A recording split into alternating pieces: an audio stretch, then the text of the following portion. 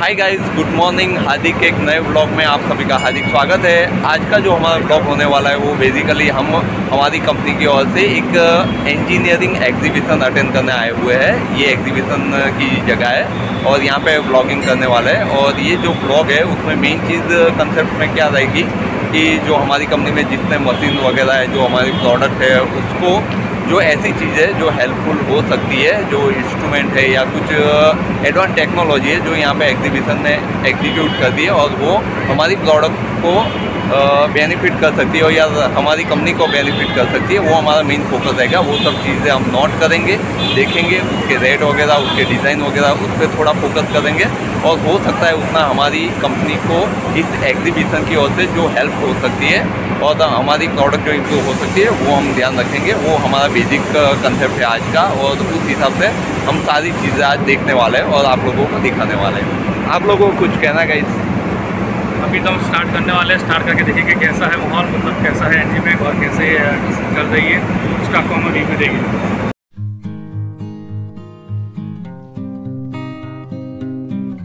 हम कंपनी से सीधा बाइक लेके यहाँ पे एग्जीबिशन में आए हुए हैं, और ये जो है वो हमारे, मेरे दोस्त है, जो मेरे साथ है एग्जीबिशन में। और ये हम अभी यहाँ पे जो जिस गाड़ी में आप लोगों को दिख रहा है, वो एक्चुअली वो गाड़ी यहाँ पे पार्किंग ये जो है वो मेन पार्किंग का गेट है एग्जीबिशन का और यहाँ से पार्किंग से थोड़ा दूर एग्जीबिशन रखा हुआ है। तो यहाँ पे इन लोगों ने ये सर्विस रखी हुई है। यहाँ पे ऐसी अच्छी अच्छी गाड़ी है जो पार्किंग से सीधा ले जाती है हमें एग्जीबिशन में और अभी हम जिसमें बैठे वो एक इनोवा गाड़ी है, बहुत ही बढ़िया गाड़ी है और अब निकल चुके हैं हम लोग एग्जीबिशन की ओर जाने के लिए।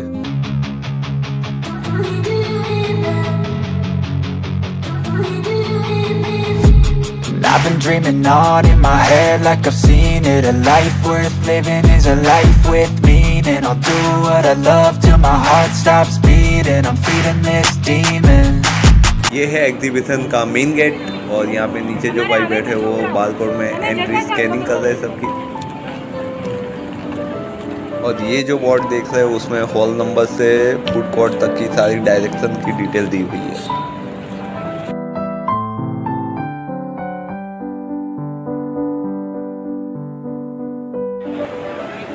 यहाँ पे बहुत सारे डॉम बने हुए हैं। हम फाइनली एक डोम में एंटर हो चुके हैं और ये निवेश यहाँ पे इंक्वायरी कर रहा है न्यूमेटिक गन के लिए और साथ में मनोज भी।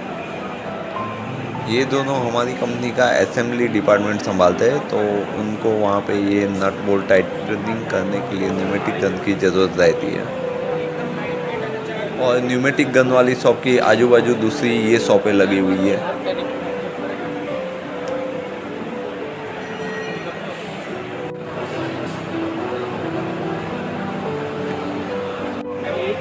थोड़ी ही आगे जाके हमें इंस्ट्रूमेंट वाली शॉपें देखने को मिल गई और यहाँ पे बहुत ही बड़ा माइक्रोमीटर है इस शॉप पे।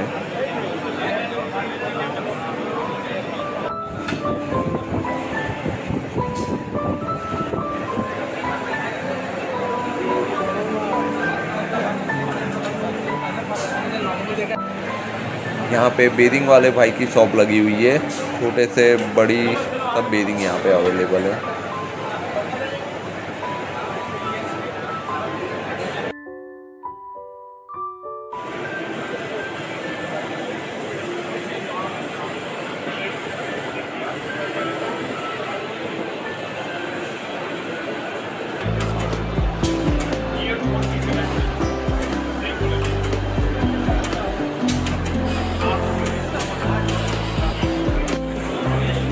ये यहाँ पे रोबोटिक्स आर्म देखिए गाइस एक जगह से चीज़ उठाई और दूसरी जगह पे लेके रख दी। जैसे मूवी में देखते हैं, वो वाली चीज़ हमें रियल में यहाँ पे देखने को मिली।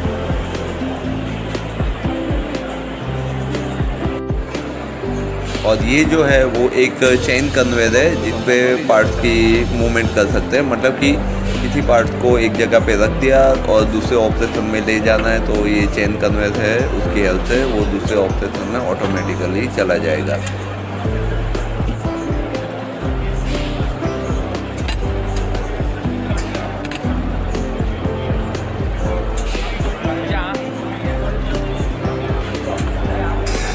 और इसमें पार्ट्स को ऊपर से नीचे भी ले जा सकते हैं। और देखिए, ये नीचे गया और नीचे की जो डायरेक्शन है, उसमें भी घूमता रहेगा और फिर से वहीं डॉटेड होके आएगा।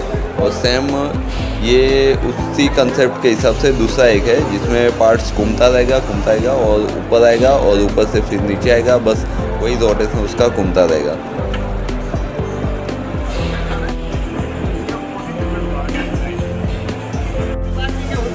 ये शॉप पे अलग अलग टाइप के नट वॉल्स अवेलेबल है और स्टड वगैरह वो सब अवेलेबल है, जो हमारे असेंबली में यूज़ होता है। और बस उसी की अभी इंक्वायरी चल रही है यहाँ पे। और ये जो है, वो कोई भी पार्ट्स के डायमेंसन देखने हो तो डायरेक्ट इसमें डायमेंसन मिल जाता है और कोई रिजेक्ट पास पार्ट्स है, जैसे कि एज पर डायमेंसन नहीं है तो वो भी डिटेल ये मशीन दिखा देती है। एक एडवांस टेक्नोलॉजी है, पर एडवांस टेक्नोलॉजी है तो थोड़ी कॉस्टली तो ज़रूर होगी तो थोड़ी कॉस्टली है।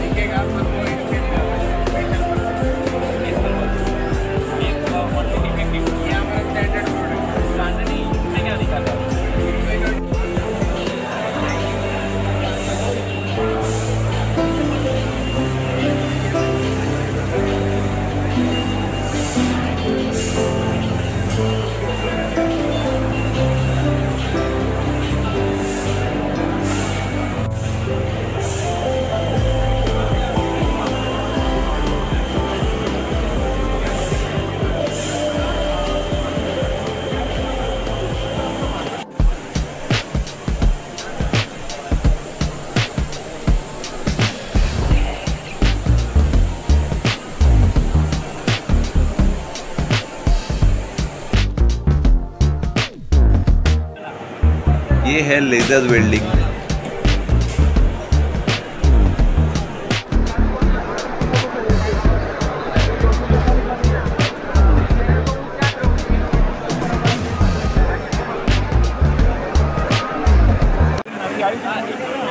ये जो है वो हमारे वेंडर हैं, हम इनसे मटेरियल ख़रीदते हैं, इनसे हम लॉकटाइट ख़रीदते हैं और लॉकटाइट जो होता है वो चिपकाने का एक मटेरियल आता है, वो हम इनसे ख़रीदते हैं।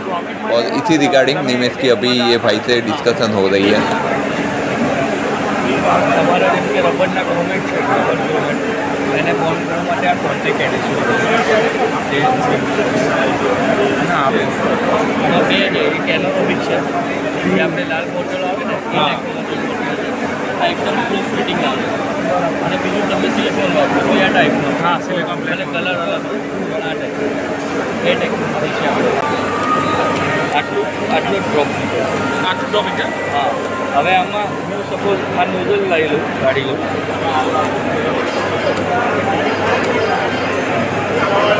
આટલું ડ્રોપ दोपहर के सवा एक बजे और हम सबको भूख लग गई तो आ गए यहाँ पे फूड कोर्ट में खाना खाने के लिए और यहाँ पे चार डिश भेड़ गुजराती भेड़ है वो हमने दी है खाने के लिए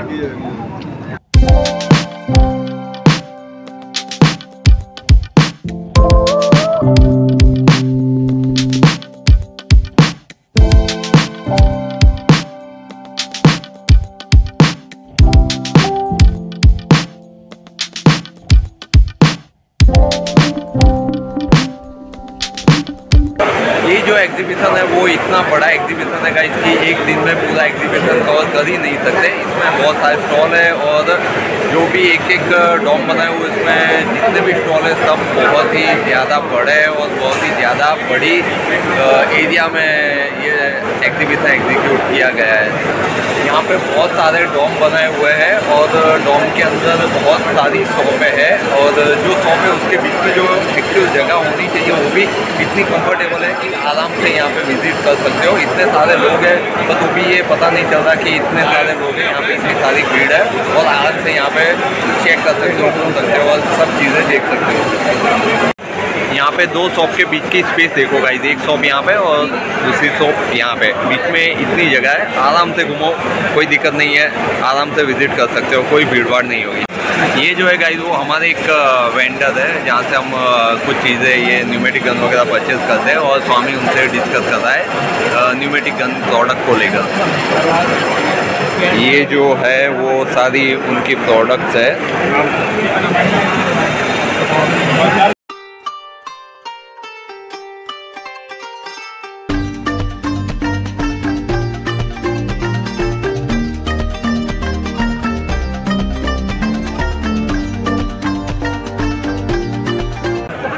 स्टॉल नंबर टेन में हम लोग जाके आए अभी और अब सीधे जा रहे हैं स्टॉल नंबर वन में। वहाँ पे निमेश ने बोला है कि हमारे काम की कुछ चीज़ें हैं। तो हम क्या कर रहे हैं, अभी ये एरिया इतना बड़ा इतना बड़ा एग्जीबिशन है कि जहाँ पे एक दिन में हम कवर नहीं कर पाएँगे। तो जो जो ऐसी शॉप है कि जहाँ पे हमारी काम की चीज़ें, सिर्फ़ वहाँ पे हम विज़िट कर रहे हैं। ये डोम के अंदर चलने का रास्ता है और आजू बाजू सब स्टॉलें लगी हुई है। और जैसे कि देखिए एक ये स्टॉल है, काफ़ी बड़ी बड़ी स्टॉल है यहाँ पे, इस डोम में। ये जैसे कि वो बड़ी स्टॉल पूरी हुई, दूसरी उसके बाजू में जो जो है वो भी उसी साइज़ की स्टॉल है, और ये तीसरी स्टॉल है, वो भी उसी साइज़ की स्टॉल है, और जस्ट उसके सामने दूसरा एक रास्ता ये है, उसके बीच में भी राइट एंड लेफ़्ट साइड दोनों साइड साइड स्टॉल है, और उसको जस्ट पास करके जैसे ही हम आगे गए तो वहाँ पे भी राइट साइड में एक रास्ता है और वहाँ पे भी ऐसे ही सारी स्टॉल है। मतलब बहुत सारी स्टॉल है एक डॉम के अंदर। हम लोग ब्लॉक नंबर वन में आ चुके हैं और वहाँ पे हमें जाना था स्टॉल नंबर टेन पे। और स्टॉल नंबर टेन पे क्या चीज़ है मैंने दिखा नियो ऑटोमेशन। यहाँ पे भी हमें काफ़ी अलग अलग टाइप की न्यूमेटिक गन देखने को मिली और इनकी डिज़ाइन काफ़ी एडवांस है। चलो तो आप लोगों को दिखाते हैं इनके पास कैसी कैसी न्यूमेटिक गन की डिज़ाइंस है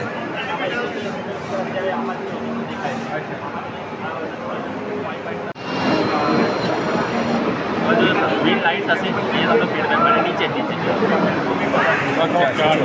ग्रीन लाइट થઈ એટલે તમારો ટોપ પછી મેં તમને અંદર નીચેનો છે ને એટલે આપણે બે connected છે. આ બે ટૂલ કનેક્ટ કરીએ હવે આમાં બી- બીજું વીસ તમે તમે કરી શકો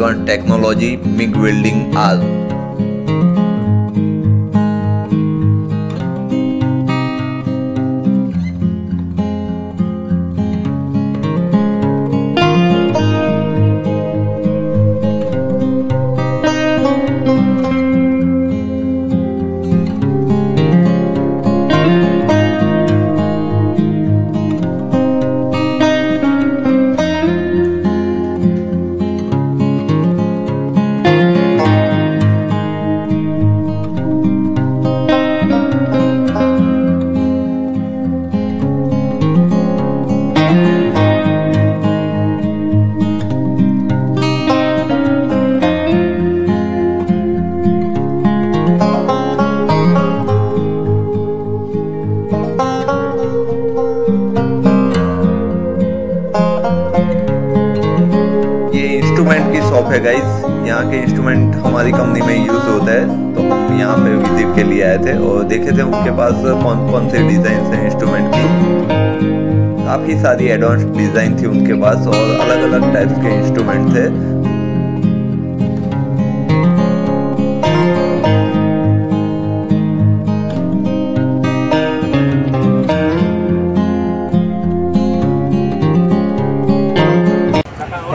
फाइनली अप्रोक्स साढ़े तीन बजे जितना टाइम हुआ है और अभी हम लोग यहाँ एग्जीबिशन में से एग्जिट हो चुके हैं और यहाँ पे एक गाड़ी की व्यवस्था है। तो जो भी यहाँ से एग्जिट लेते हैं, उन सबको गाड़ी पार्किंग पे ले जाती है। पार्किंग यहाँ से थोड़ा दूर है तो गाड़ी की फैसिलिटी यहाँ पे बहुत अच्छी रखी गई है।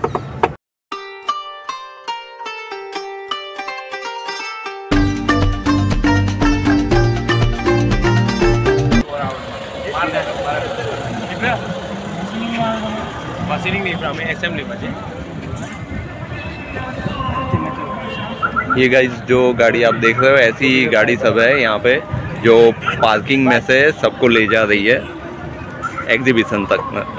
और, ये जो अभी आप देख रहे हो, ये है पूरा पार्किंग जो गाड़ियों से भरा हुआ है।